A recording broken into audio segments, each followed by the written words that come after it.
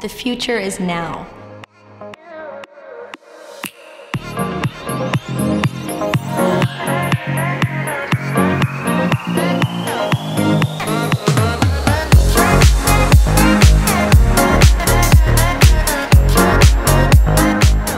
Really don't think that automation and AI will completely uh, disrupt the world of work and that there won't be enough jobs in the future. I just think the skills we're going to need to thrive in that world are, are very different than the ones we had needed previously.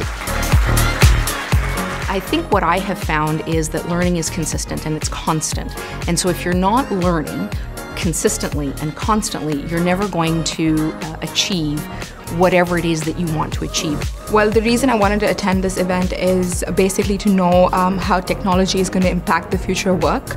Um, if there are ways um, we as millennials, as students, can actually future-proof our careers and what the future of work would actually look like. So, as we spoke about the future of work and retail innovation and paleofuturism, it was very interesting to note that many of the things that we talk about as future are happening already.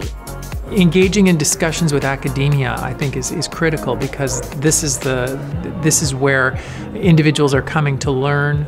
Um, so just being able to network with professionals uh, and learn about what's happening technologically uh, and how that's going to impact our specific workforce is just going to be advantageous all the way around.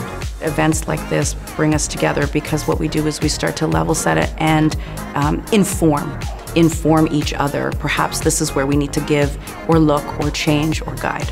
As you have these forums that you're looking to figure out what role does industry play, how can industry partner with you uh, to deliver 21st century learning to your students, uh, we have the ability to be a part of that dialogue. It's a great uh, platform to network, to reach out to um, industry experts and build connections. You get a lot of insight and perspective as to uh, your specific industry, and um, you just learn a lot more as to what's happening in the industry out there. This was even more than I expected, and I'm pleasantly surprised. So, very impressed with Centennial that had put on such an event that has industry members that came high level industry members and gave very, very realistic, tongue in cheek conversations about what we're looking for and what the world of work looks like. I would love to be involved with Solv sector sessions in the future uh, in whatever capacity I can as an attendee, as a speaker, uh, to be able to showcase technology, or just to be part of the dialogue. I think it's important and I'm willing to invest the time.